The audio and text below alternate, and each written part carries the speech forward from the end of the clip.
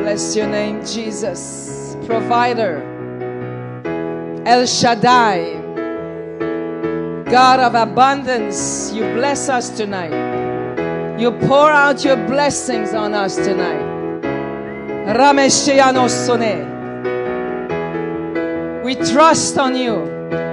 Our eyes are on you. Not our money. We don't withhold. We let go of our money.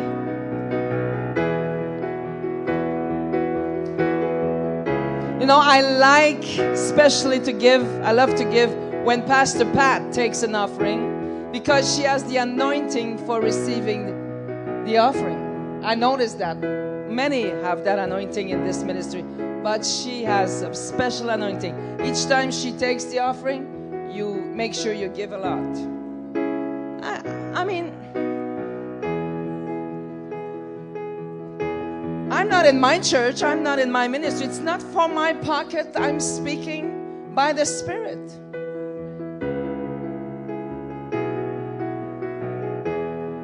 It will not change my salary. So give, please, tonight. Come on, there's three or four more people that have to step out in faith. It's nice to sing a nice song. Take a step of faith. Take a step of faith. Come on, take a step of faith tonight. I want two, three people to give a thousand dollars. I break the spirit of poverty and lack in the name of Jesus. I break the spirit of fear of giving in the name of Jesus. Come on, I want some people to give a thousand, many to give a hundred. 50 more of you can give 50 and you know what it will make a difference in the in the months to come in your in your income. Believe me tonight. Believe me. Come on some of you can give a hundred some of you can give 50 some of you can give a thousand. Like i say it's not for me. It's for the advancement of the kingdom of god. Let's all join hands in the advancement of the kingdom. Let's all do our part. Lord, I release the money tonight. I release generosity tonight in the name of Jesus. Stinginess, I bind you. Go from this place. We don't want you here.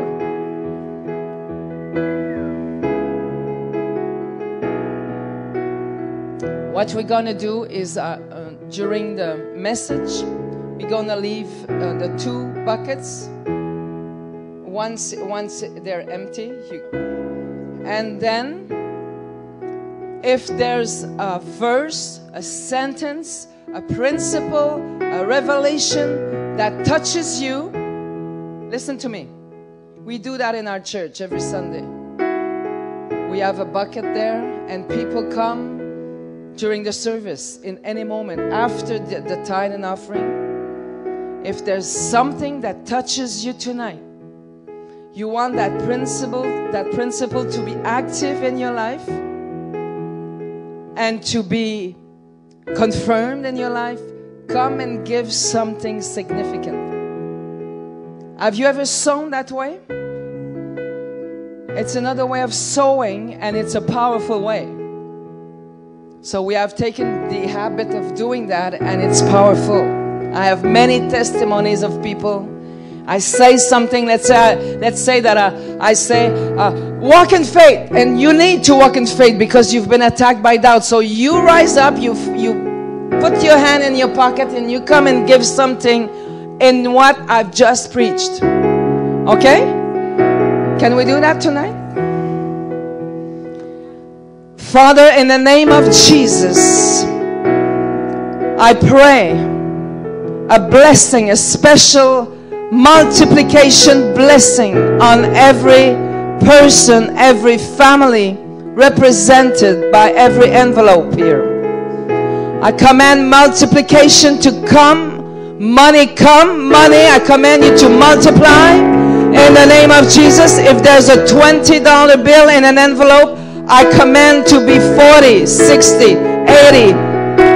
Money multiply right now in the name of Jesus. We need you money. work for us, not against us. In Jesus' name. Amen. Amen.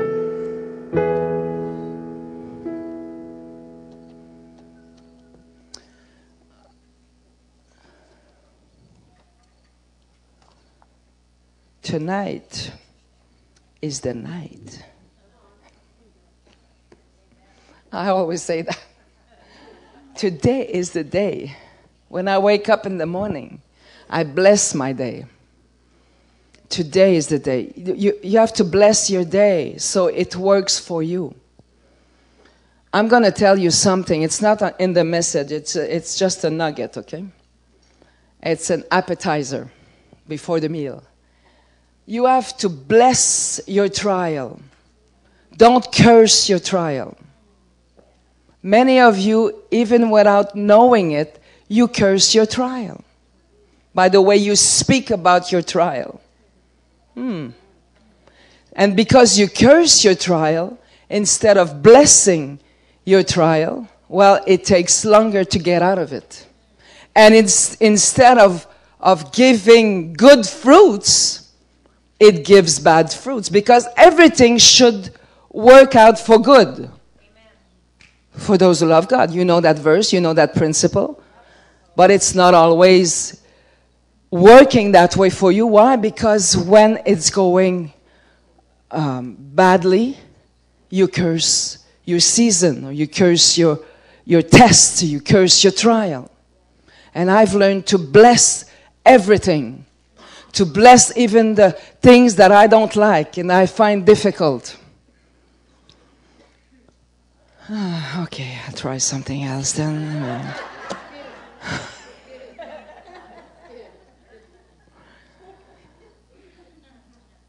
In the name of Jesus, I bless the message that I will preach.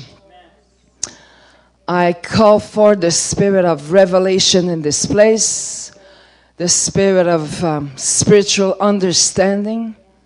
In the name of Jesus, come. Come. Everybody lift up your hands and call the spirit of knowledge, call the spirit of revelation right now on you.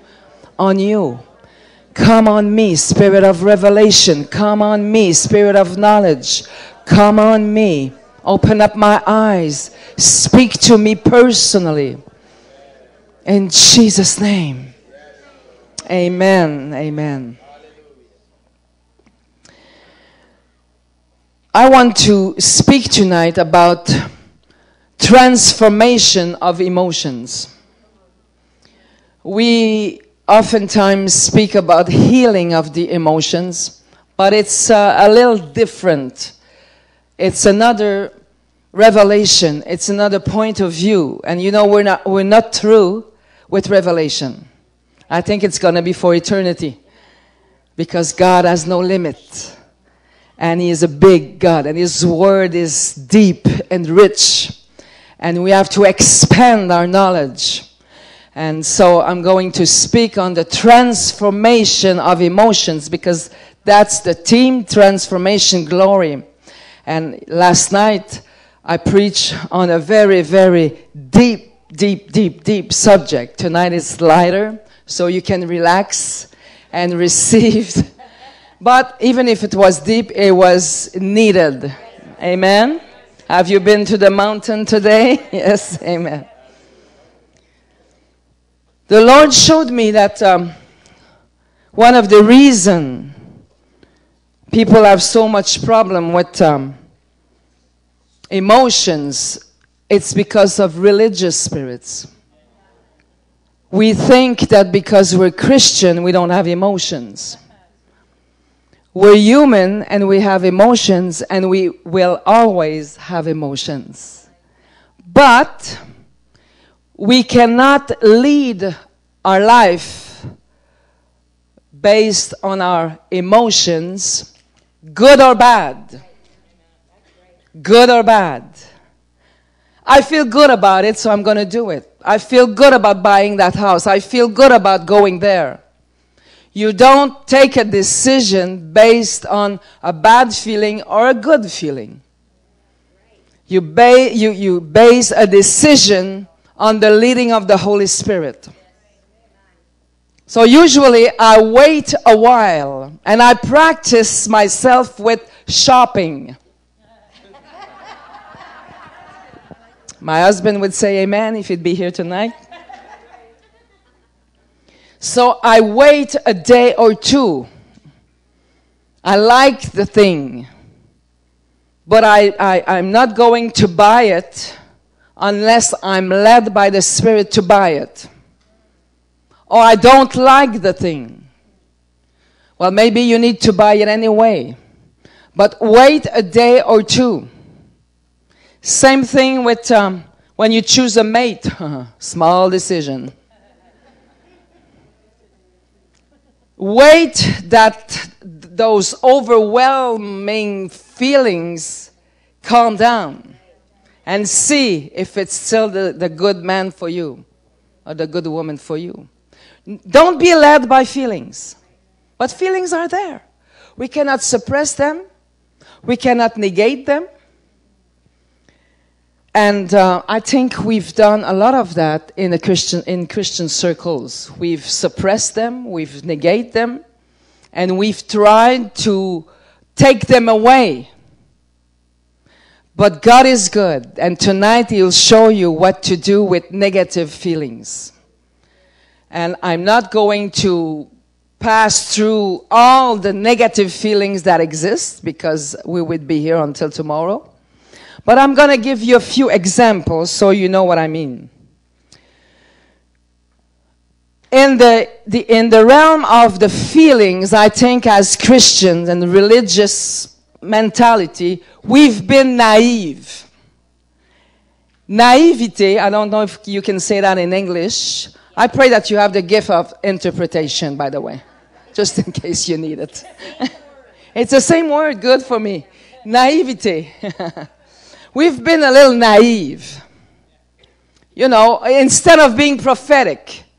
Being prophetic is the opposite of being naive. You know, you, you, you want a child so much, a nice, cute baby. So cute. Until they get to 18 or 16 or 14, depending. Depending. depending. But we've been naive. We thought that our kids will not do those things. But your kid has a calling on his life.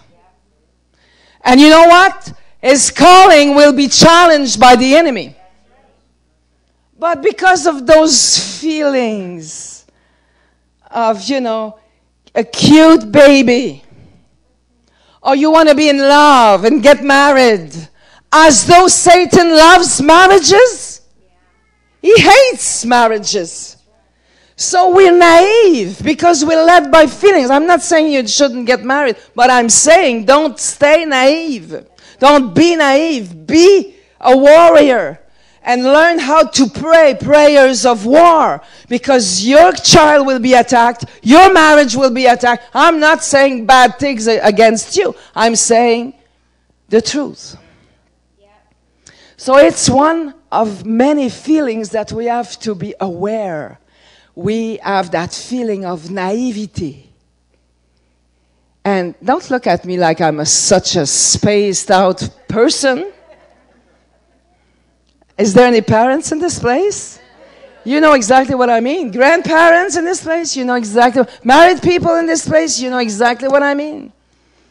And so we have to get rid of those cute, nice feelings and be prophetic. A prophetic person sees before time. And she's a pre, uh, prévoyant. Preventative. Thank you so much. Why don't you sit here and help me? I'm serious, if you want to.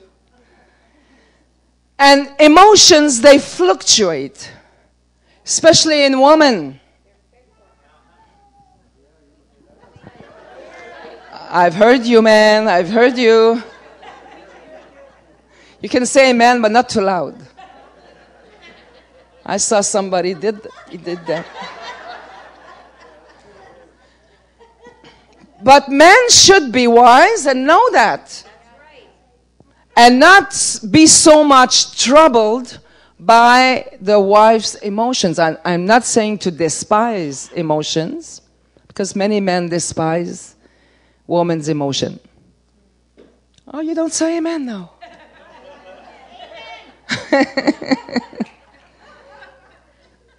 and us women, we should take a journal and write down some dates. Write down when our emotions are like that. So we count the days. And when the days arrive, I say, Well, I will not trust in that mood.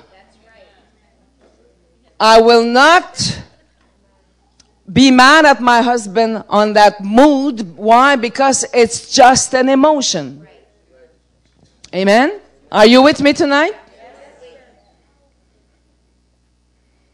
So the Lord wants to take those emotions and transform, transform them for His glory. Is it good news? Okay, help me. So far, so good.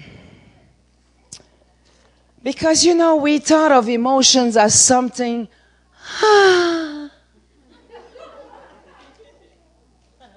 so, oftentimes we despised emotions. Is it true? Emotions, some of those emotions are just powerful. When they are transformed by the Holy Spirit, they become power in the hands of God. Take joy, for example. Joy is strength. So it's not just joy. No, it's strength and power. It's not just joy. Do you see what I mean? It's like peace. Peace is a weapon. When you put on your shoes of peace and you tread upon the head of the enemy, the God of peace will soon crush Satan's head. It's not just peace. You know, have you ever been in the hippies? I was in that movement when I was young. So you can figure out how old I am. And it was peace and love, you know. But peace, peace in the kingdom is a power. It's a weapon against Satan. Satan hates peace. Because when you have your peace, you can pray effectively. And you can discern effectively. And you can take good decisions. Amen. It's like love. Love is in the air. You know, love. Love is a commandment. Love is an order. Love is the new covenant in Jesus Christ. It's not just love. You know what I mean? So when you take your emotions, even the bad ones, even the the, the most negative ones and you put them in the hands of God, it transforms them and it becomes power. Because nothing is lost in the kingdom. That's what she said to me yesterday. Madame here. Madame Pastor. I love this woman, by the way. She's a powerful woman. She's dangerous. You better be friend with her. It's best for you. Hallelujah. But she da- she's dangerous against the enemy, not against people. Let me straight that out. So, I'm going to give you five or six examples of negative emotions that can be transformed in the glory of God for the advancement of the kingdom that can be a powerful tool in God's hands. Amen? So let's go. Let's start. Are you ready? Go with me with, uh, to uh, Philippians, Philippians 4. Everybody know probably the passage I'm getting to. And uh, I'm going to talk about anxiety. I know nobody has that here, but I do once in a while, so please let me indulge in my own thing. I know it's not your problem, but please be patient with me. Verse 6 says, Be anxious for nothing, but in everything by prayer and supplication with thanksgiving, let your requests be made known to God. And the peace of God, which surpasses all understanding, will guard your hearts and minds through Christ Jesus.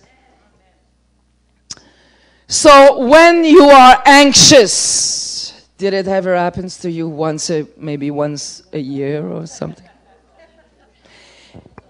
When you are anxious, if you don't put that anxiety to work for you, it's going to work against you. And it can destroy you. And I see too many Christians taking pills against anxiety, and I'm not despising that at all. And I'm not putting you down if you do that. Please follow me. But because we don't take God's medicine. We take man's medicine, which is better than nothing. It's better to take man's medicine than to die and go before your time. But we have a powerful medicine. We have to become lovers of the Word of God and put into practice what the Lord says. He says, Be anxious for nothing. Is it possible to be anxious for nothing? Hmm.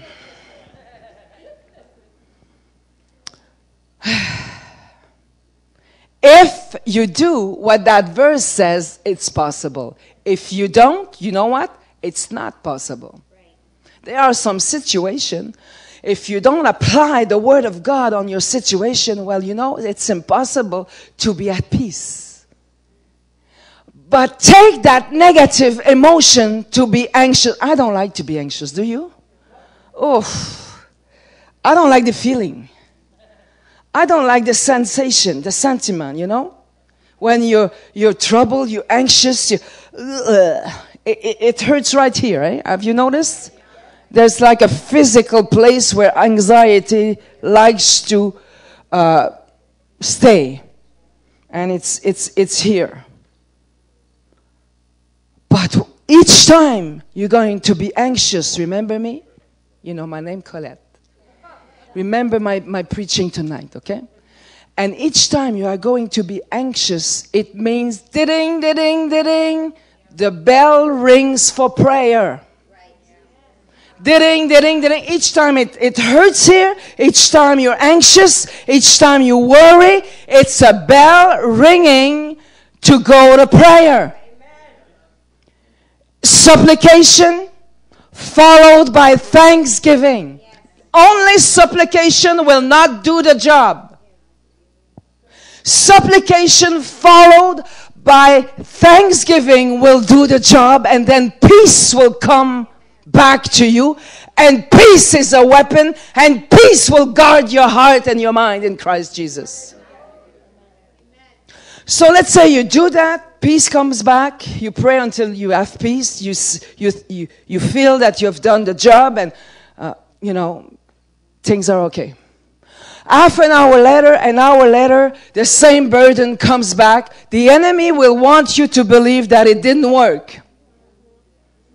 You know, I prayed for the rain to stop this afternoon, and it didn't. And I was frustrated, and I prayed again. And it didn't. Well, I put my sunglasses on by faith, and the sun came out. But it took three times. So you have to pray two, three times, four times before peace come back. But don't let the enemy take your anxiety because he will transform it. An emotion will be transformed no matter what. Uh, uh, let's say a frustration never stays a frustration if you don't deal with it. It will become sooner or later uh, an obsession. You're frustrated because your husband leaves his clothes on the floor. He has a, a very large drawer, you know. and that frustration, if you don't take care of it, will become an obsession. And that obsession can kill your marriage. Because an obsession leads to another obsession. Because you know what? An emotion will never stay the same, it will be transformed. So let God transforms your negative emotions because otherwise the enemy will take them and transform them. Thank you very much. So, peace is a power to crush the enemy's head. And when anxiety is there, don't let it rule you. But don't negate it. Oh, no, no, no, no, no. Oh, no, uh, it doesn't bother me. You spiritual pride person. Don't say that. It doesn't bother you. Of course it does. It bothers me, but I don't let it bother me too long. Take that, put it into the hands of God. Say, Lord, I put my anxiety, right, not my, the anxiety into your hands right now. I know it's a call to go to prayer, so that's what I'm going to do right now. And your anxiety is transformed into prayer, into supplication, into thanksgiving, and then into, into peace and peace becomes a guard to your mind and to your emotions. Amen. Let's take guilt. Anybody has guilt? Any parents in this place? You're a parent, you have guilt, that's for sure.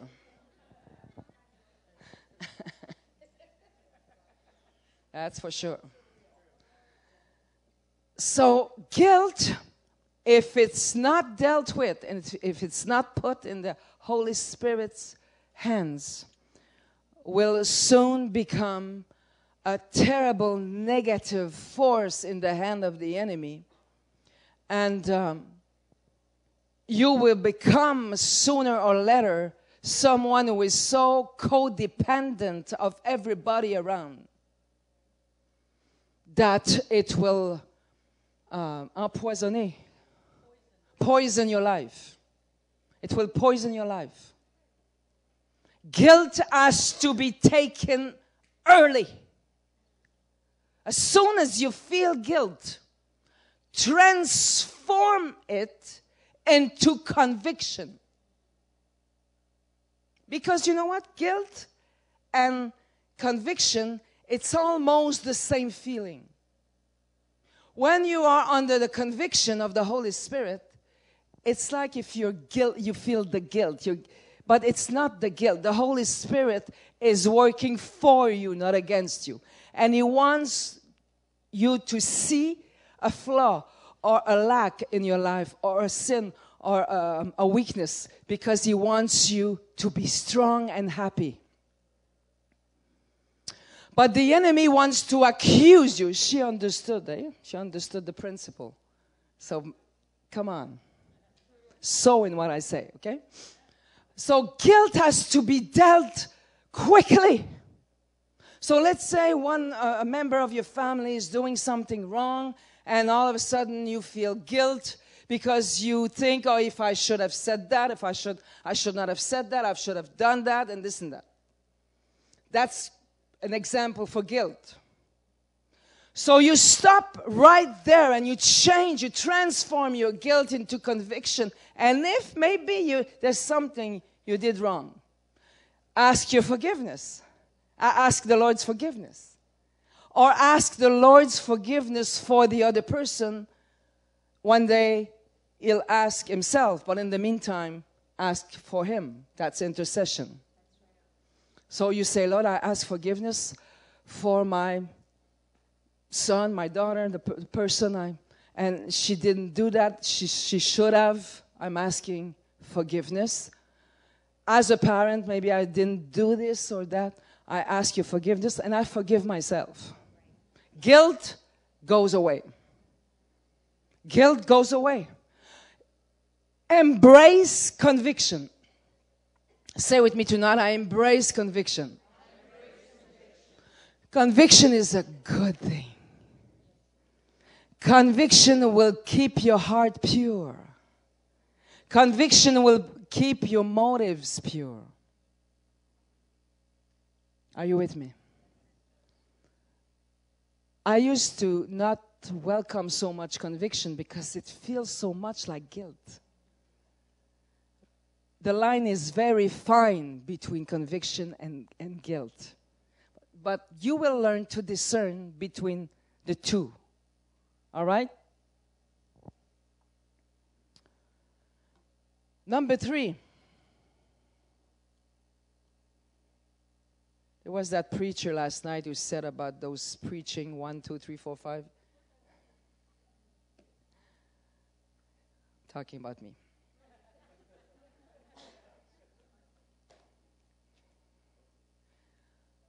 Let's take anger. You look so sweet tonight. I know none of you have that. You look so cute. You don't have anger, don't you? No, you don't. You're Christian, after all. Hey?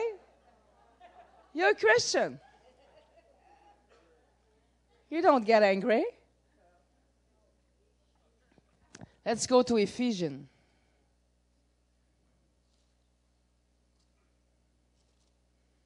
Chapter 4.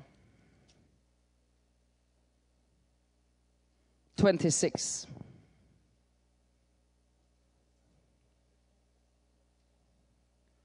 A Christian should not be angry.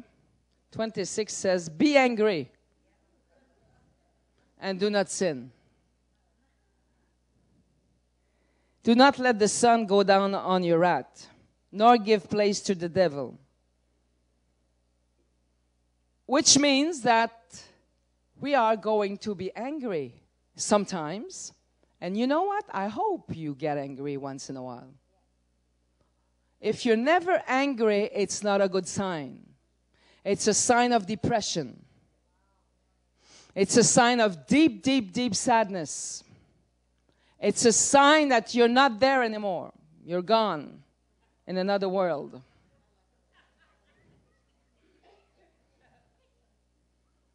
But your anger should be redeemed by the Lord, should be transformed in a spiritual force against the enemy. Because the violent take the kingdom by force. And we need some anger and we need some violence, but well managed and directed to the good place. I should have many people so just in what I just said. You know, some of you are angry, and instead of doing something with anger, you, you, you suppress it, and then you become sick. A lot of sicknesses, it's because of suppressed anger. A lot of depressions, it's because of suppressed anger. If you have to go in your car and have a good yell, well, do it. Ah! I hate that. Maybe you cannot say in the face of the person, but just let it out somehow in, the, in a manner that you can afford to do. You cannot beat up your wife if you're angry. You cannot beat up your kids. Mm, I w- I won't go there. and you cannot say bad names to someone because you're angry. But direct your anger in a force for the advancement of the kingdom, in a spiritual violence, spiritual violence against the enemy. I find out that people are too nice with the devil. And they're angry at people all the time. I see too many angry Christians, and they're so cute with Satan. I hate it. I'm angry at that. Do you understand what I say? I'm saying the truth here. The truth of the Word of God. We're cute with the enemy and we're too mad with one another. We have to be merciful with one another. You know, you, you, you yell at each small thing in the house and you're angry at everything and everybody. And the enemy, yes, it's so easy with you. Talk to me. Is it true? Come on, rise up, mighty warriors of the Lord. Don't be mad at your husband. Don't be mad at your sister, your brother. We're not wrestling against flesh and blood. Take that anger and let the Holy Spirit transform it in a spiritual violence against the enemy.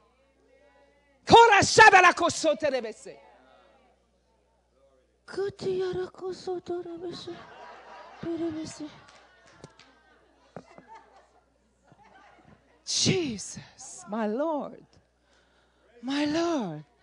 There's some prayers that need to be aggressive. Aggressive prayer. If we want the atmosphere to change, if we want things to really change, oh Lord, I, am not mocking. I just want you to, to provoke you into the good things of God. Oh, Jesus.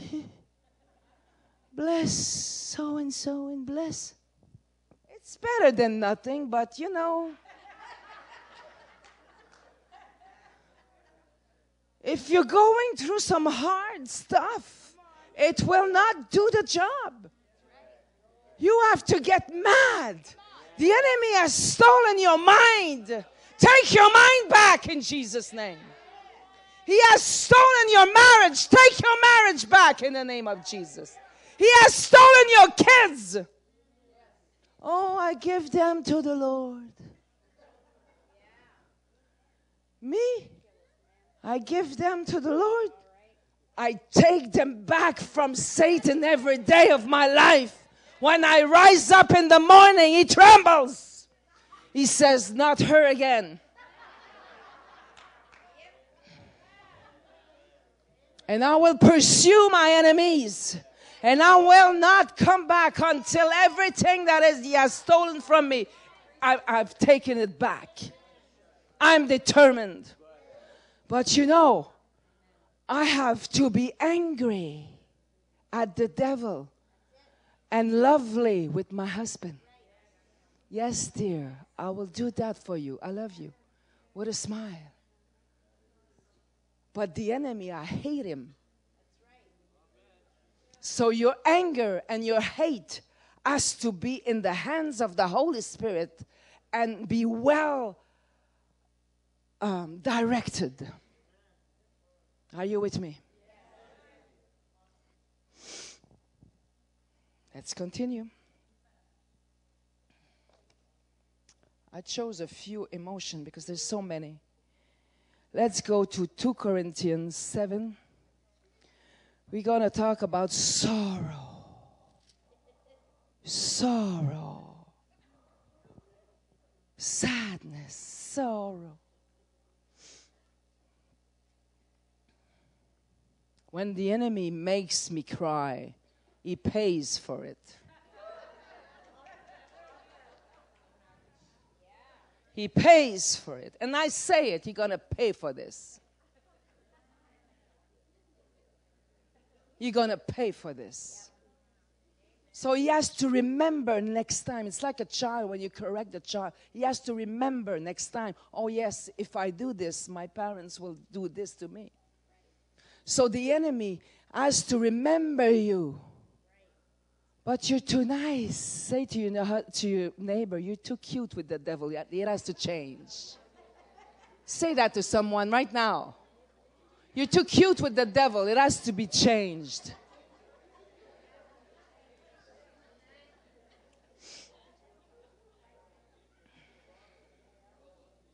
Two Corinthians 7 says it well. For godly sorrow produces repentance, leading to salvation, not to be regretted. But the sorrow of the world produces death. So there's there's a transformation. Don't think for a moment that sorrow will stay sorrow. Sorrow will be transformed, and if you're not aware of it, and if you don't take care of it soon enough, sorrow will soon become death. You can die from it. And I'm convinced that some godly people, nice people, good people died before their time because sorrow took them in the grave. Sorrow leads to death. I'm not inventing that. I'm not, I'm not saying that to do a good message. The Word of God says it. You read it with me. But sorrow in the hands of God can produce repentance, and repentance can lead to deliverance. The word salvation in that verse means complete deliverance in every area of your life. So there's a sorrow. When the sorrow, when, when, when sadness comes on you, take a moment, Let, listen to me. Take a moment to examine if it's a godly sorrow or a worldly sorrow. If it's a godly sorrow, it means that the Holy Spirit, listen to this, trusts you enough to put on you a sorrow, a sadness that comes from God. He wants you to intercede for someone. Because now you have given your life to God. So it's not your life. If it's not your life, it's not your suffering. It's someone else's suffering. Because we're supposed to bear one another's burden. That's the law of Christ. That's the new covenant. That's the new law. That's the only law. The law of love, the law of bearing one another's burden. So when you are sad, wait for a minute, examine before the Lord. Is it a good sorrow? Is it a, a godly sorrow or a worldly sorrow? Because you know, in our human nature, we're so quick to wanting to get rid of the sorrow. If you're sad, you're going to eat something. You're going to drink something, maybe. You're going to smoke something you're gonna anesthesize and anesthesi it? Somehow anesthetize whatever you know what i mean. You want to block it. You don't like the sensation. You're so used to block any negative emotion you don't let the time to god to do something valuable with it Oh, my Jesus, this is good. So the next time you you, you, you feel sadness, you remember me, okay? Not for me, but for the message. And you, you stop. You don't try to right away call somebody. You don't try right away to get rid of it. Take a minute a quality minute and ask the Lord, is it a godly sorrow or, or a worldly sorrow?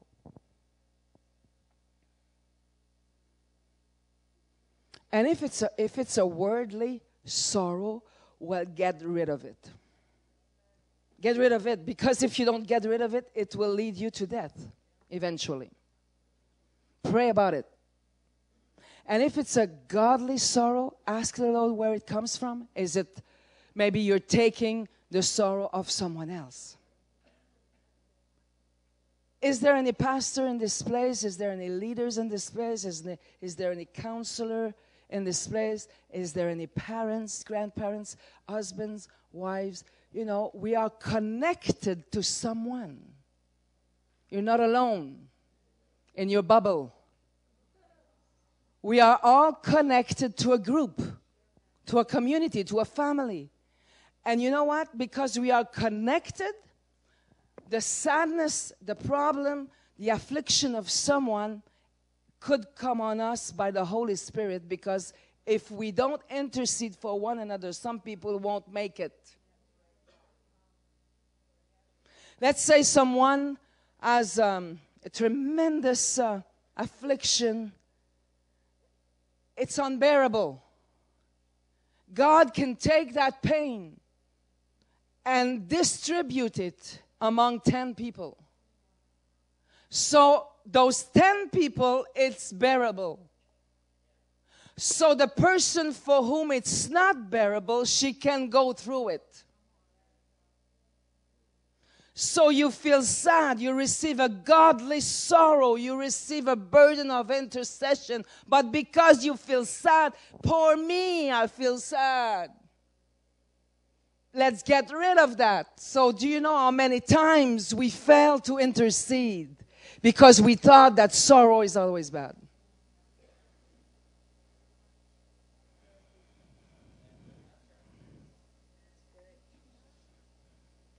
But it's going to change. It's changing. Number five, fifth emotion that has to be transformed into a force, a spiritual force in the hands of God. What do you think it is? Something that we have regularly fear. Fear. Fear is a powerful, powerful, powerful force. That's why it's the best chosen tool of the enemy. That's what is he tries on us all the time. Actually, I could tell you if you have a problem, who has a problem right now? Just three people. I'm going home. I don't preach to the right crowd tonight. Who has a problem or two? Lift up your hands. Stop and think for a moment. Let's say that in your problem, there's no fear.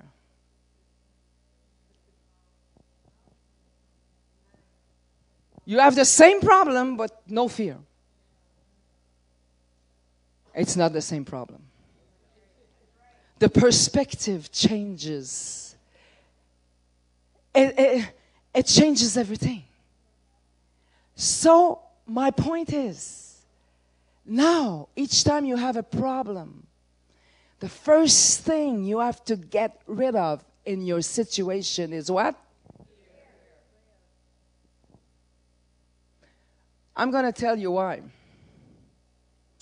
It's Satan's favorite weapon against us, against us Christian. Because we've been wired by God to live by faith. Faith is believing that something good will happen. And fear is believing that something bad will happen. So fear is a kind of faith. It attracts. It's a force of attraction. When you fear something, you attract it on you. Oh my God. Do you realize you've been, uh, comment on dit, flatté? She understands she should sow in that, in that principle. You should too. I should have at least 20 people who come and sow something. Well, what, how do you say flatté? Do you realize that we've been flattering our fears? We've been flattering our fears. And all that time, it's the first thing we have to get rid of when we have a problem. Because fear attracts. Why? Because we're Christian. If it's a non Christian, fear is not as bad. Have you, have, have, have, you, have you followed me? Your aunt, uh, Diane, is not a Christian. Eh, listen to me. If she has fear, it's not as bad as for you because you're a Christian. Why? Because the Christian is wired to live by faith, and fear is a perverted kind of faith. And the enemy knows that. He knows the principle that the just shall live by faith, by his faith. So if you fear, you attract. Who wants to attract problems? Don't we have enough like that? Are you with me? Don't you ever tolerate fear anymore. As soon as you sense fear, transform in, a, in the power of faith. Let's say you fear. What, what are the fears? What are the fears that you have? Fear of man. So let's say you fear that that person will believe that of you, that will interfere with you. Uh, uh, you, you fear that you will uh, displease the person you are going to confess, I believe that that person will agree with me. I believe, instead of believing that the person will be against you, believe the opposite and confess something like that. And you will sense faith rising up in you. You fear the future. The fear of the future is one of, of the greatest fears. We fear something that is not even there yet. We fear something that don't, doesn't exist because future doesn't exist yet. Actually, it exists in the hands of God. He knows our future. Our future is in His hands. But we don't believe in Him that much. We don't trust in Him as much as we want to think. So we have fear of the future. We have fear that His promises will not come to pass. So each time you have fear, stop and say, I believe that His promise will come to pass. I believe that the future is good. I believe the end is good. Say something. Each time you fear, say something. Your mouth will not want to say something like that because your mouth has been trained to say negative things. Your mouth is rebellious. See, if, you, if you're honest, say amen. It has been trained by you to say unbelief thing, uh, things of uh, uh, uh, uh, unbelief all the time, things of fear, things of uh, negativity, anxiety, defeat. But now, each time you will feel fear, think of me. Not, a, not for me, for the message and say, I will not tolerate fear anymore. Say with me, I will not tolerate fear anymore. Say to your neighbor, don't you ever tolerate fear anymore.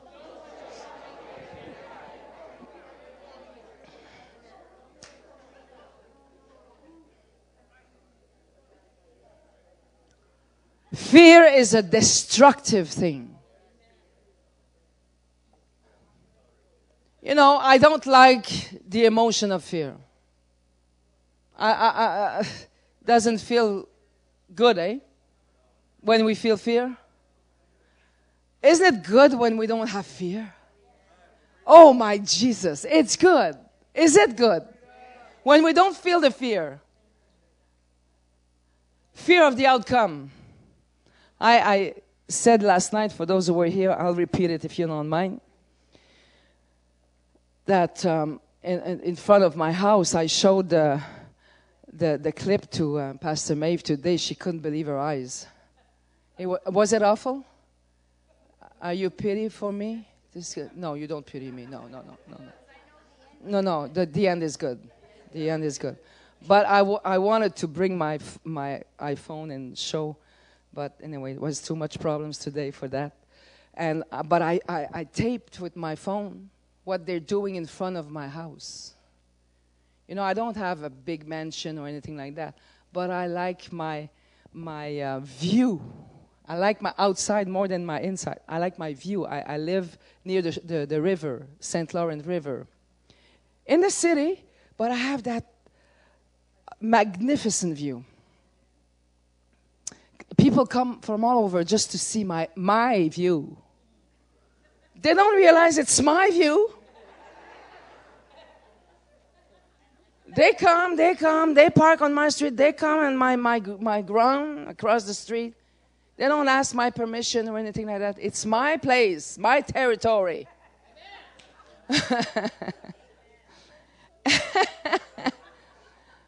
but since I'm a good person, I let them come, you know. But um, they decided to redo the, the street and the, and the, the, how do you say that, the sewers and the, les gros tuyaux, comment on dit ça, les gros tuyaux? Big pipes and repair the pipes and the drains. And the first day was bad. The second day it was awful. The third day I thought it was the, I, I thought it was in Haiti when they had the, the big uh, tremblement de terre, earthquake. It was awful awful, awful. And they, they, they, uh, ils ont creusé, digged very, very, very deep, very deep. I couldn't believe my eyes and my ears. Beep, beep, beep, all day from seven in the morning to five at night, all the time. That noise, beep, beep, beep, and those big, big trucks and everything, you know. I, I, I caught my husband liking it.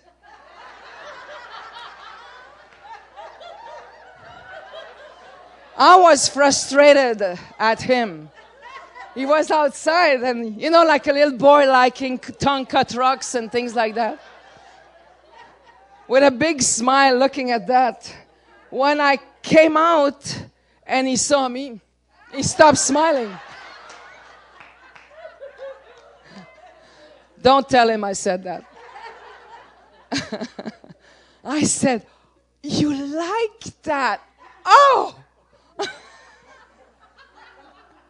Incredible, eh? Men are like that. They like trucks, toys. but I was, I was not so depressed and not so anxious. You know why? The guy told me, he, he, knocked at my door one day because he, he, would, he wanted to tell me that he was going to cut the water for an hour or two. So he, he, he knocked and he said, I'm sorry to disturb you, ma'am. I said, It's already done. You've disturbed me for a few days now. But he sa- I said, How long are you going to be on my, my street like that? Because even my, my little garden. It's, it's finished. My flowers, my fence, my, um, mon gazebo, uh, my, everything is finished, you know. Everything is, is been taken away. So I said, how long are you going to be here? He said, two months and a half. I said, what? You, you mean all summer and a part of, of, of, of fall, I like to sit on my porch and look at the river, and, and you know, that's my therapy. I need therapy. and that's my therapy every day. And I haven't had it for the last month. Do you feel it?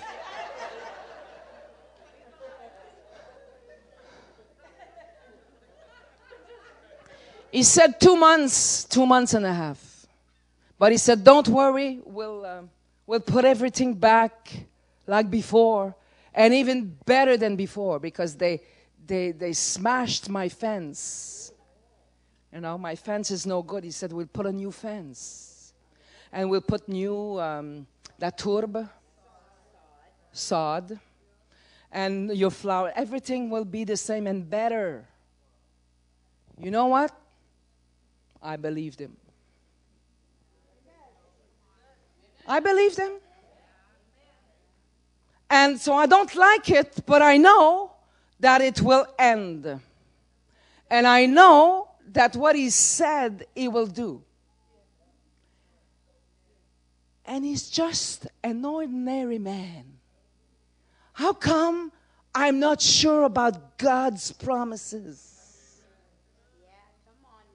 How come I doubt God? And I'm not sure how it will be finished. And I'm not sure that He will put the fence back like it was, even better. How come I'm not sure we'll put the sod, the grass? I prefer grass. Like before. How come I'm not sure? Because fear. Fear is there. I fear the outcome. I fear the future. I fear that what I'm going through will destroy me or will destroy my loved ones or will destroy my destiny. And I'm not trusting God as much as I would like for you to believe.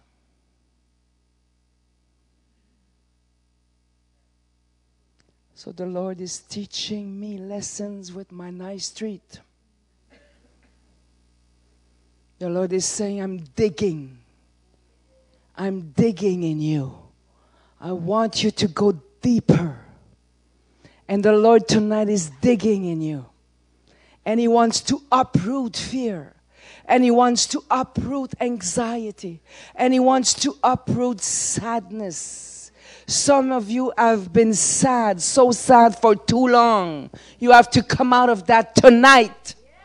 Tonight is the night. You have to come out of depression tonight.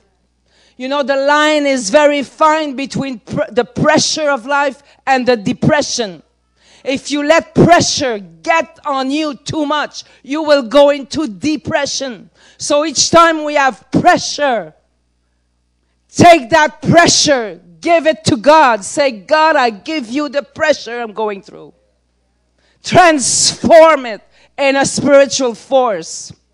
Transform, him, eh, eh, transform it in a force that will help me to press on if you continue to press on in prayer, to press on in fasting, to press on in forgiving, you will avoid depression. But if you let pressure get on you, you will go into depression. Your negative emotions will be transformed whether you want it or not. So you better be in charge. Say, I'm in charge. I'm in charge of my emotions. I will not let my emotions dictate my life. Because from tonight, I'm in charge. I'm in charge of my emotions. And I give my emotions to the Holy Spirit. I will not let anxiety rule me. But I rule over anxiety.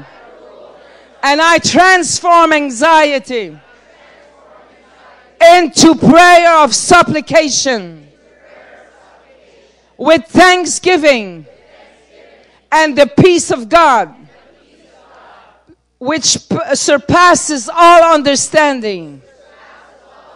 Guard my mind and Jesus Christ. The peace of God guard my heart, my emotions, my personality and Christ Jesus. Peace is my weapon. I tread upon serpents with my shoes of peace. The God of peace will soon crush Satan's head under his feet. Lord, I will not sleep on my anger anymore. But I'm going to take that anger and wrestle against principalities. I will not wrestle anymore against flesh and blood. But I'm going to take that anger that I have against so and so. You know the so and so.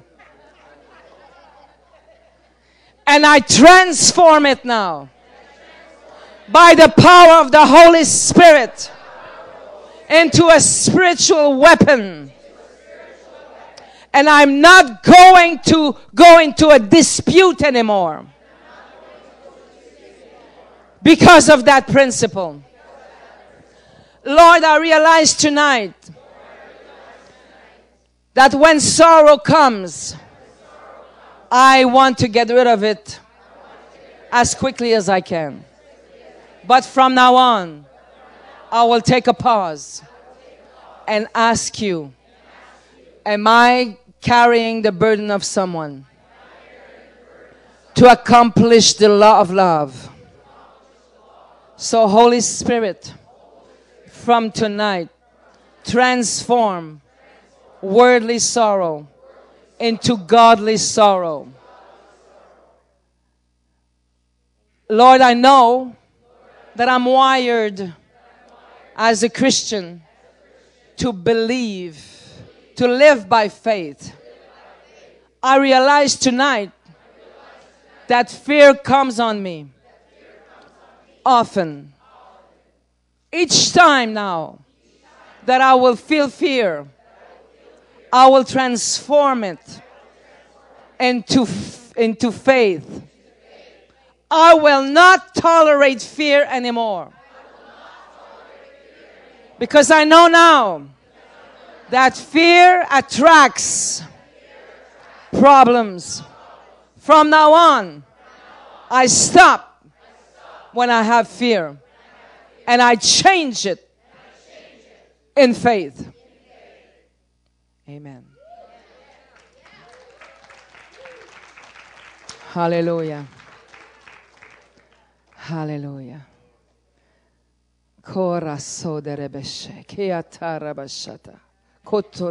Pray with me.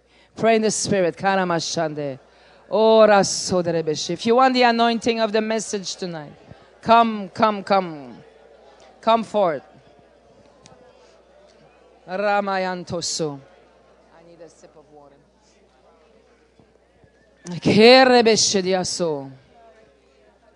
Thank you.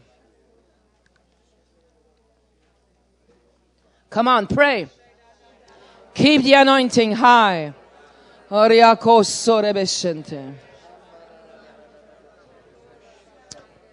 Oh. Sir, I think you have given me a prophecy some years ago. Yeah. You know, recently, your prophecy helped me so much because, you know, the opposite happened. The prophecy has been attacked.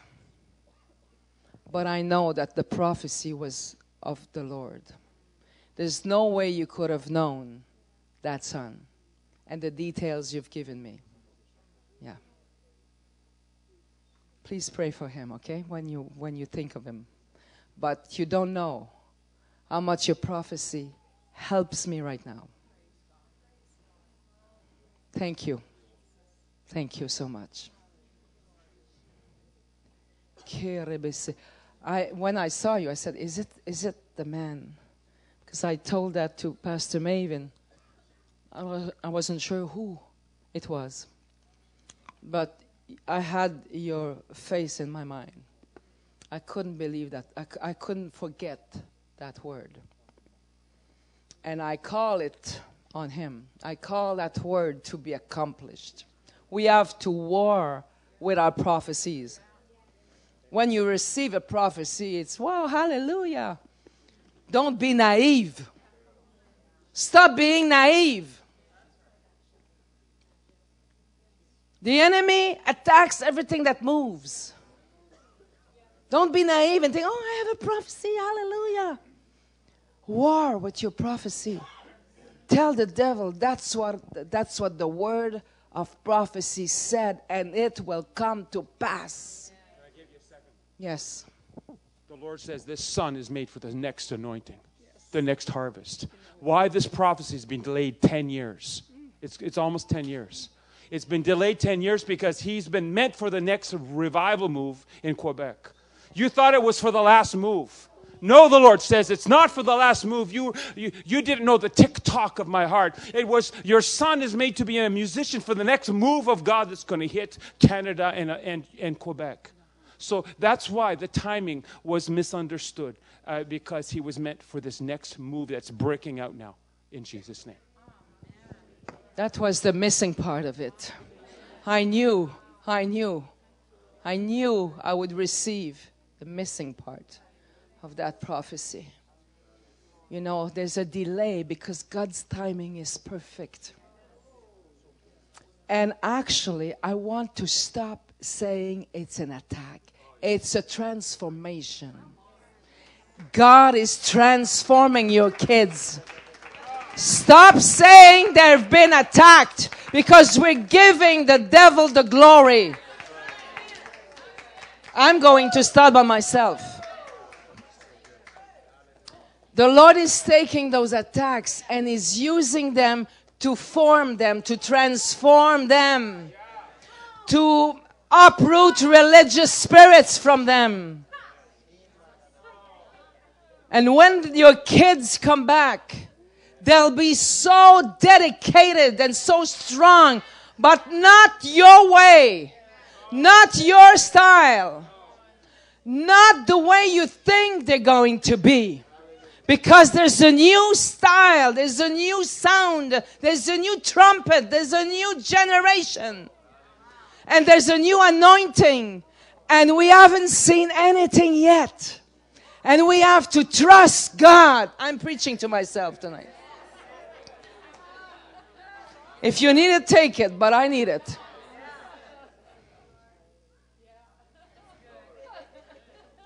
Joanna. My dear Joanna, I hope you would be here tonight. Your husband told you, I guess, eh?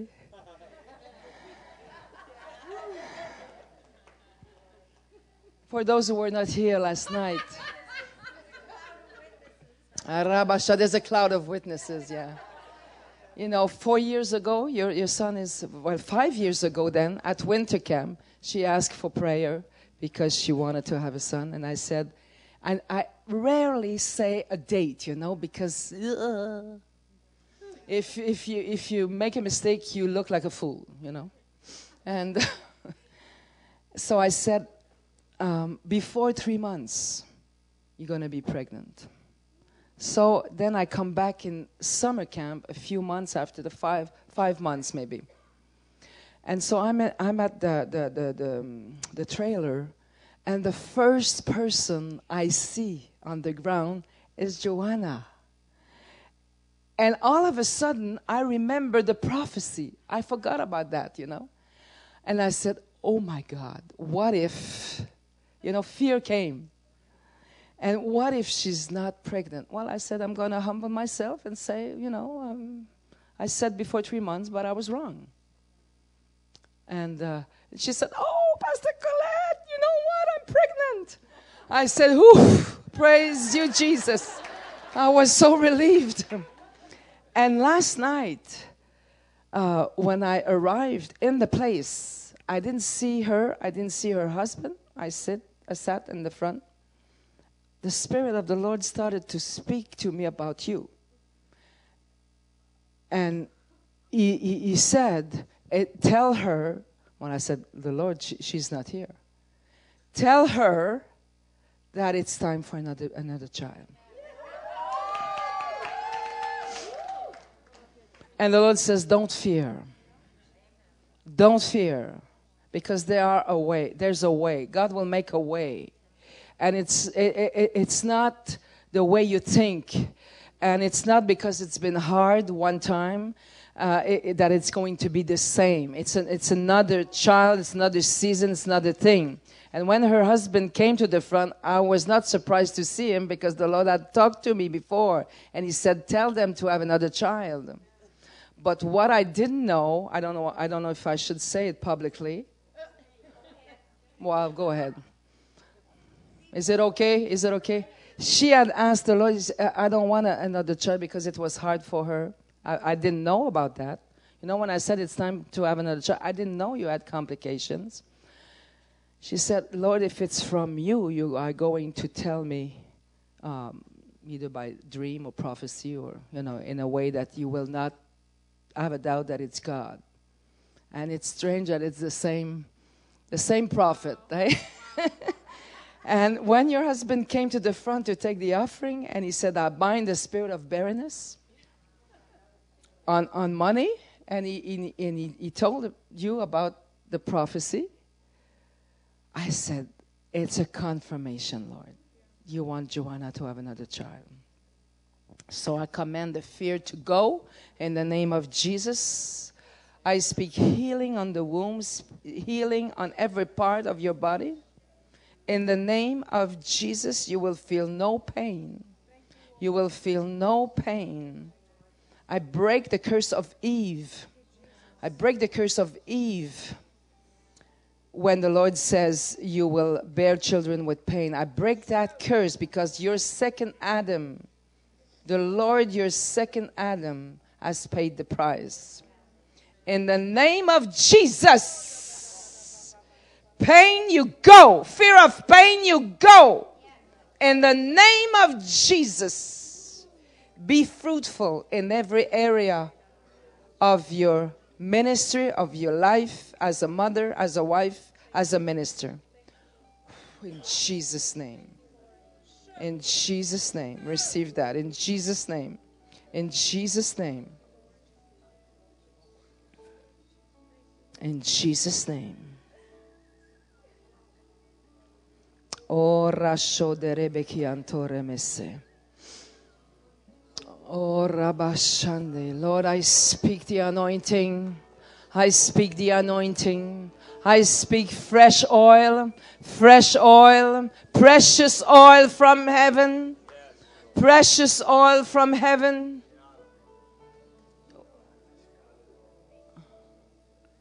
Who is the pianist?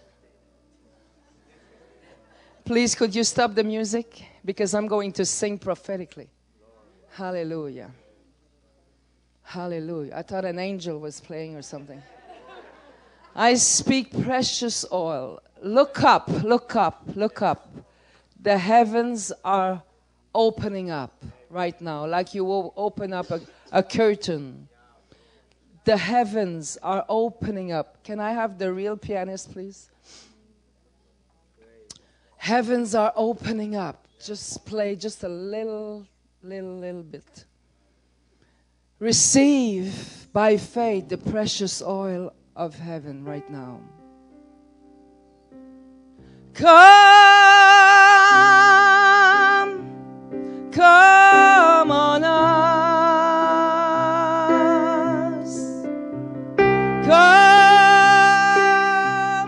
come on us, precious oil, precious oil, precious oil from heaven.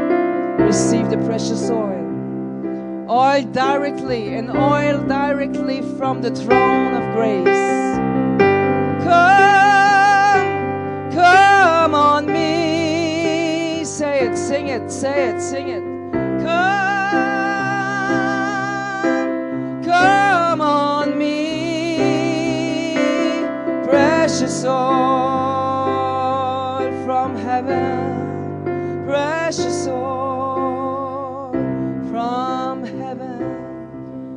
are some burdens that are being removed right now.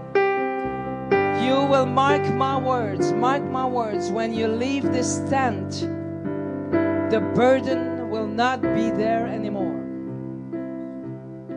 I receive the oil from heaven. I receive the oil that breaks yokes.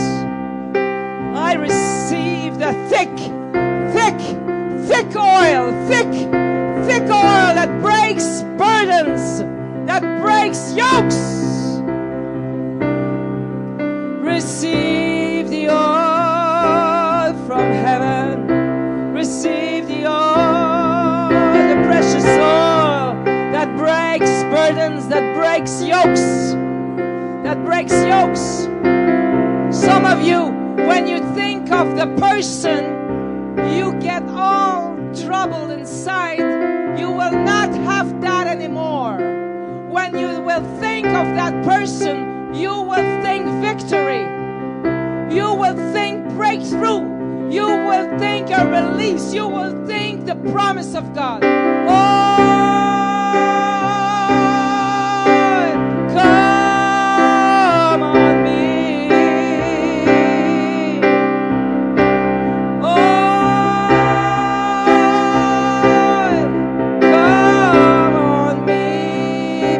precious oil, precious oil from heaven. Break every curse, break every curse, break every curse, break every curse in the name of Jesus.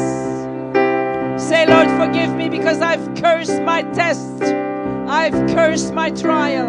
Say, Lord, forgive me. Now that you have asked forgiveness, your test will work for your good. Your trial will work for your good. Oh,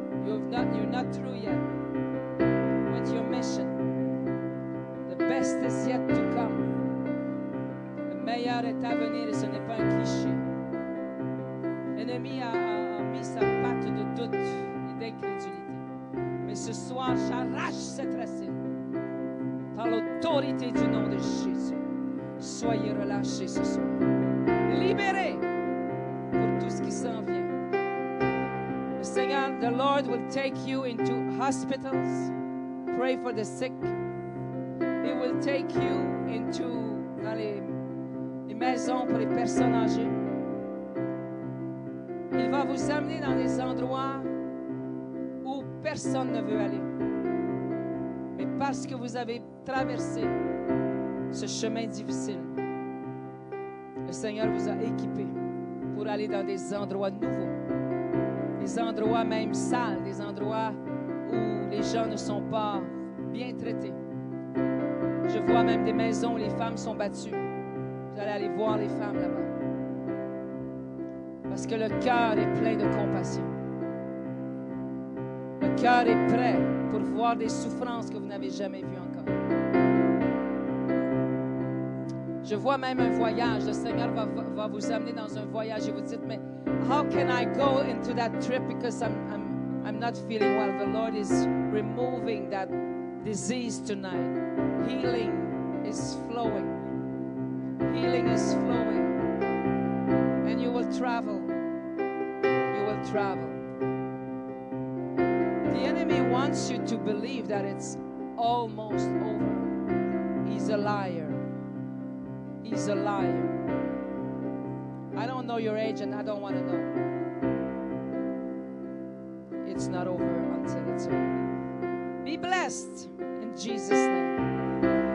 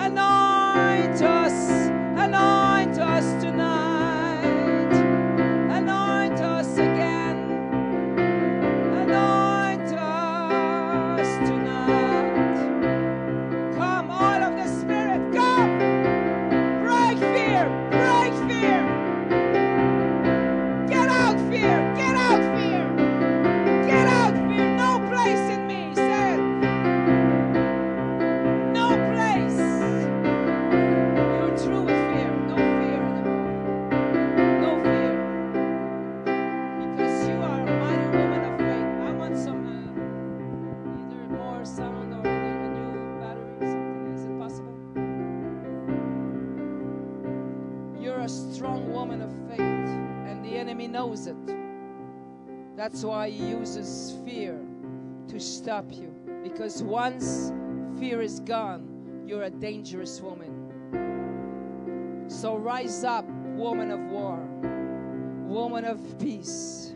You're a woman of war and you're a woman of peace. You want peace, make war. And each time you have fear, do what I've told you to do. Don't ever tolerate fear anymore. And be bold. Rise up in boldness, saith the Lord. I speak boldness. I speak boldness in Jesus' name.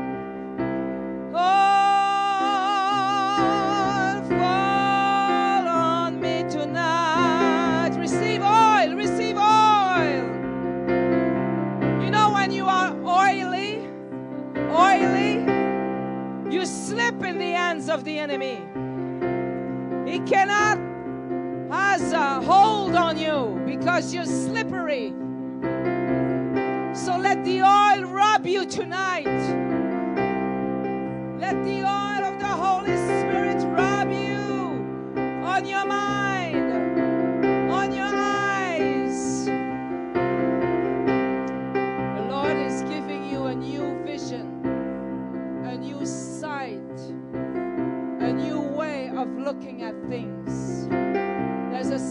situation, I don't know anything about it. The Lord is not showing me what it is. But there's a situation where the way you look at it, it depresses you. The way you look at it, and you have all the good reasons to be concerned. But the Lord is touching your sight, your spiritual sight tonight. Is putting oil on your vision, on your eyes. And when you get up tomorrow morning, you will have a new vision about it. a new way of seeing the thing. You will not see it with eyes of despair. You will not see it with eyes of depression. You will not see the thing with eyes of discouragement. But the Lord is giving you His eyes. You will see the situation with God's eyes. And because your sight is changing, you will attract success. You will attract the victory. Don't think that it's the end. I don't know what it is, but don't think it's the end. It's not. Is it okay with you?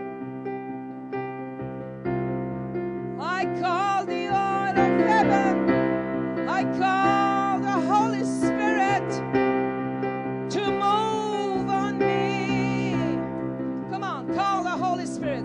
We want to move. We want a mighty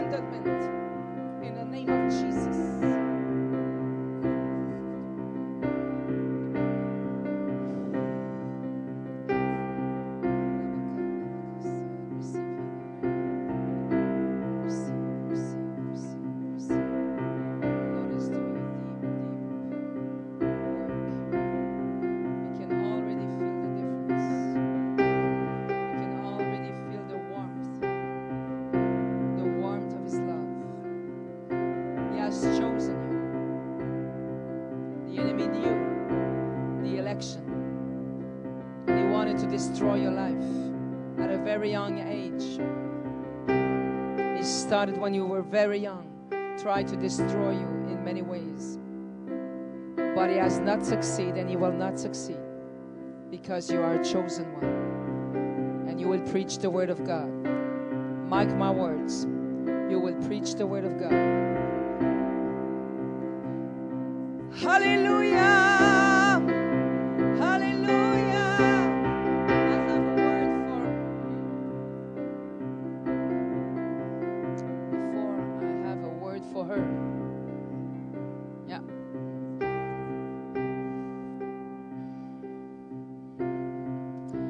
Know when you um, when you prophesy,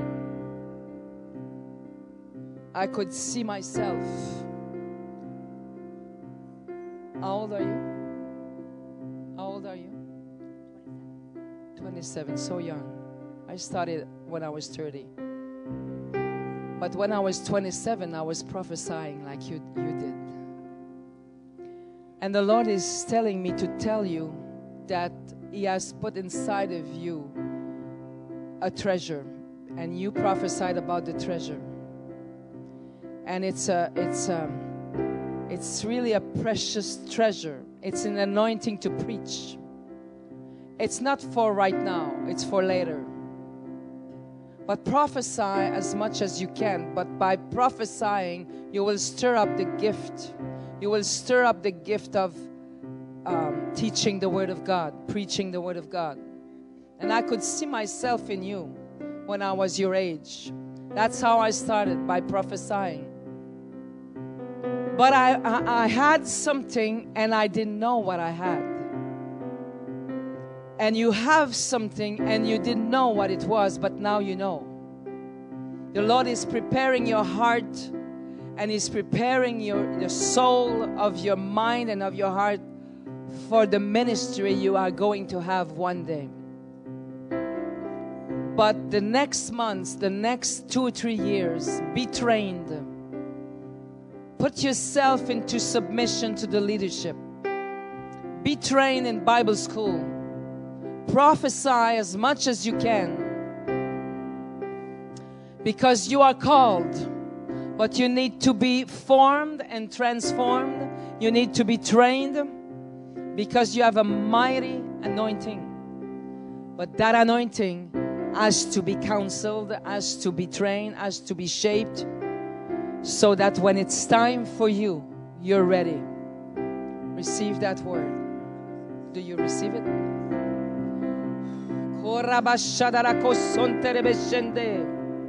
Thank you, Jesus. And you know, when you prophesy, you feel that heavenly treasure in you is so strong that it's like a conflict with your earthly vessel. And sometimes you feel the conflict inside of you and you're wondering, what's wrong with me?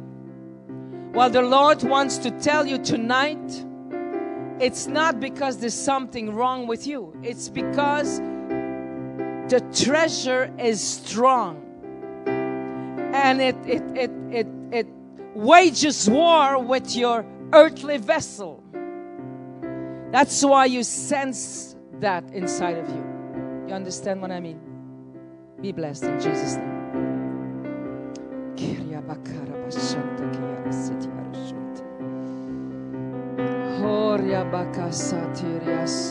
Jeanette, the Lord is not through with you.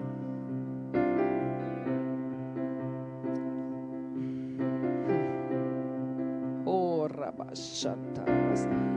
I'm breaking the, the thing that is as a hold on you because you are a mighty woman of faith, a mighty woman of the Word of God. You preach the Word of God. And I release you in the name of Jesus. I break the chain in Jesus' name. I break that thing over you in the name of Jesus. I release you.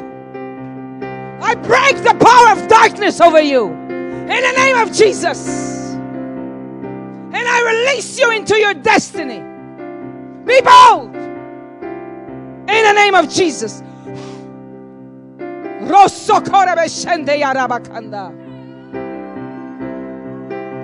I take away the chain. I break that chain. I break that curse in Jesus' name. I release you. There's an offense that came into you and the enemy tried something through an offense. And the Lord is saying to you, take your eyes off that offense from now on because it was a trick of the enemy. He has been defeated. He, is, he has been known under the light of Christ tonight. He has no more power over you. In Jesus' name, that offense is erased and gone, and you're free. Continue. Continue, Taruchine.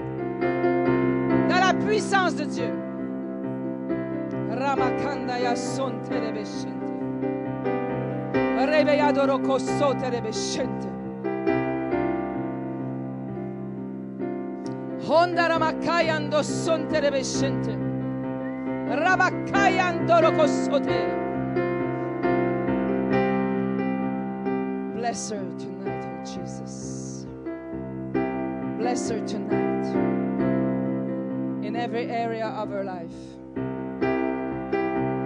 Lord, I pray self confidence. I pray that the image of herself would be restored in the name of Jesus. I cancel the ugly words that have been said to her. I cancel their effect on you, my sister. In the name of Jesus, there were lies of the pit of hell.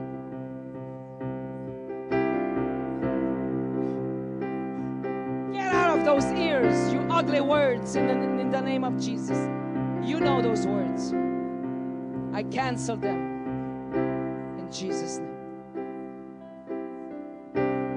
Be free. Lift up your head. You're a woman of worth. You're a woman of excellence.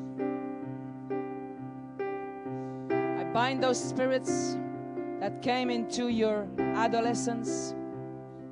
You were 15 years old when that thing happened. I break that curse in Jesus' name. I uproot those spirits that came because of that event.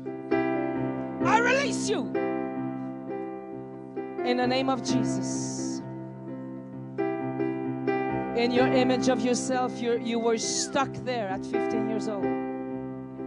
And that event prevented you from growing and be a mature woman. But tonight, the chain is broken. And you grow. And you're not afraid to grow. And you're not afraid to become a mature woman in God.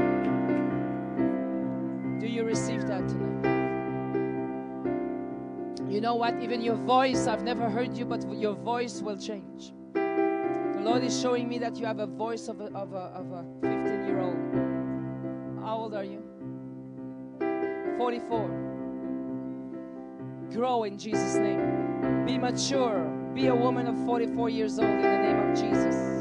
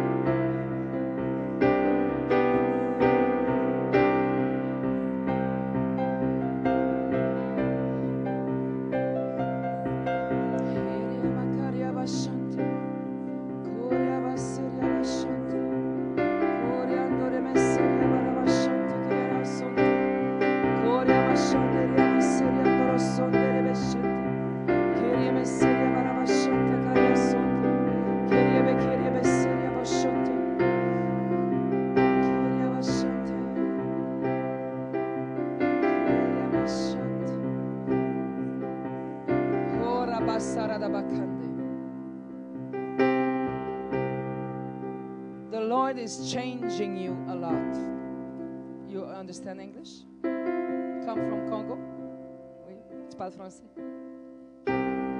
The Lord is changing you. Il te change beaucoup. Et tu es un homme de couleur parmi beaucoup de blancs. Comme moi, je suis une femme blanche parmi beaucoup de noirs dans mon église. Et ça nous force à changer. And the Lord is forcing you to change. You feel some pressure right now. And it's the Holy Spirit that is taking you out of your bubble.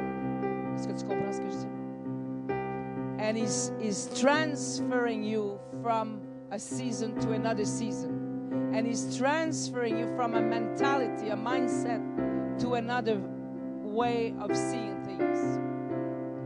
And the Lord is putting on you tonight une souplesse, comment dire ça en anglais?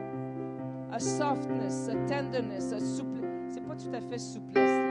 Uh, an easiness to change, uh, a teachableness.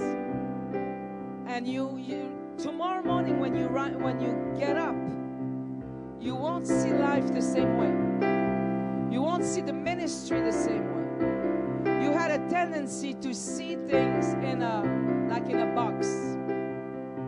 And the Lord is changing you, is healing your mind. You've been through a lot in your country. You've been through a lot in your childhood. Your parents have been through a lot. Your ancestors. And I break the curse of past generation over you in the name of Jesus. I bind the spirit of nightmare right now in the name of Jesus. And the spirits who visit him during the dreams, during the night, I command you to leave and go and never come back in Jesus' name. Spirit, uh, spirits of the night, you leave. Sorcery and witchcraft spirits, you leave that man in the name of Jesus. And I bind and I break the curses of ritual in Jesus' name. Lord, something happened in the childhood. And I plead the blood of Jesus on that event. Blood of Jesus over that event. And I release my brother. From now on, that event has no more power over him. He is a child of God, redeemed by the blood of Jesus. He belongs to Jesus. Satan, he doesn't belong to you. Take your hands off him right now.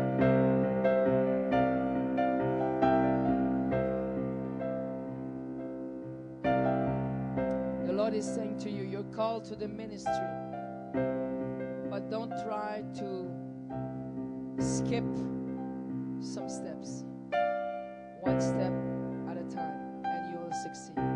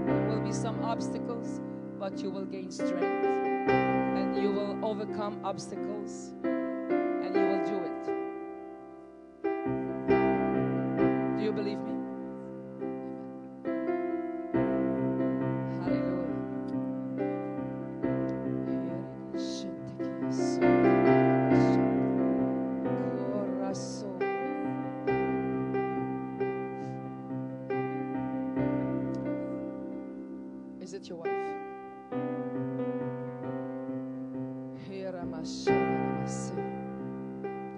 The Lord is showing me a pure heart in both of you. A heart of compassion for the needy, a heart of compassion for the lost, a heart of compassion for young people who are in drugs, who are in bondages. The Lord is showing me a ministry as a, couple ministry to to help the needy, to help the people in the street, to help the young people who are bound. I see you, you are going to go in places and you are going to take out of the, the mouth of the lion, you are going to take the, the sheep out of the mouth of the lion. And the Lord right now is giving you a strength to do that. It will be a process. Don't worry. It will not be something in one or two days. It will be a process.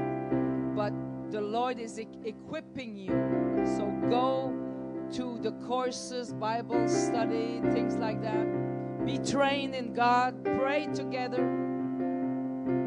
And I bind every spirit that would want to come against their destiny. I bind it and I cast it away in the name of Jesus. Distraction demons, diversion demons, I bind you. I command you to go division and quarreling and dispute spirit. Go in Jesus' name. That couple is called by God. And the enemy knows and he's trying, but he will not succeed. What God has ordained in your life will come to pass. Stay pure. Keep your eyes for your wife all of your life. Be wise.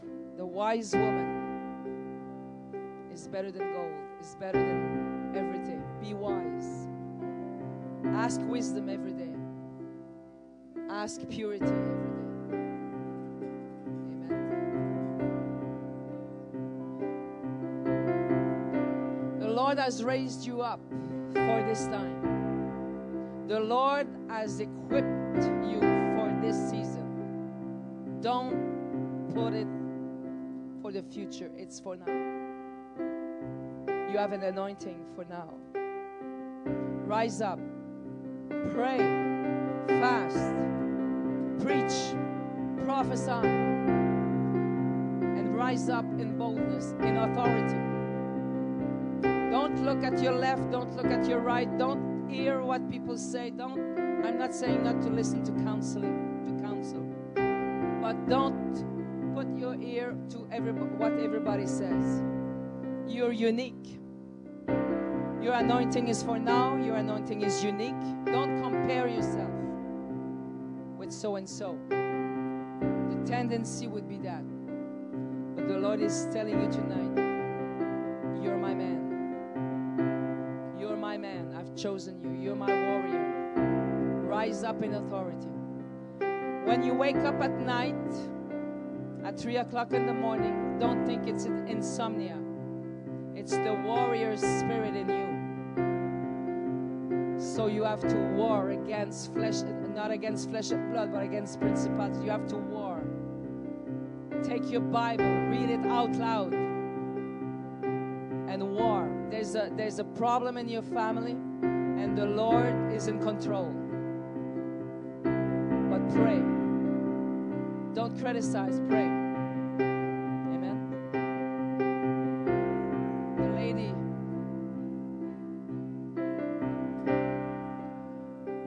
Woman of excellence. You are a, a woman of, quality. The, uh, the fabric of your personality is of high quality. Because you've been resisting in the midst of many storms. And because of that resistance, you've increased your worth and your valor. The Lord says, now it's time for you to help younger women. It's time for you to uh.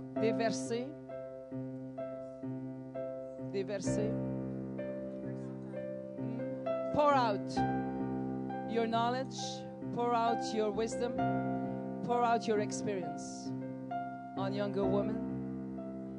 The Lord will open up a way for that. Because you say, How can I do that, Lord? Lord will send you one, two. He will open up a way. He will make a vase, a vase, because you're you're His vase. And I see you You know those vases that we buy at Winners? They're very popular with all those little mirrors uh, uh, glued together. That's the way I see. That's the way God sees you, because you've been through many broken. Uh, your heart has been broken many times. The situation have hurt you many, many times. But the enemy thought he was he, he had succeeded in crushing your spirit, but he hasn't succeeded. It had made you stronger, and it had made you a beautiful vase. I see all those little pieces of uh, mirror glued together by the oil, by the by the glue of the spirit. And the Lord will not remove all of your scars. He left a few. He removed some, but he left a few. Because your scars is showing his mercy and his grace. And now he's pouring into that vase the fresh oil of his spirit. You are a magnificent vase for him. And he's pouring his oil. And now it's time for you to pour out. Which means you forget about yourself now. You forget about the hurts.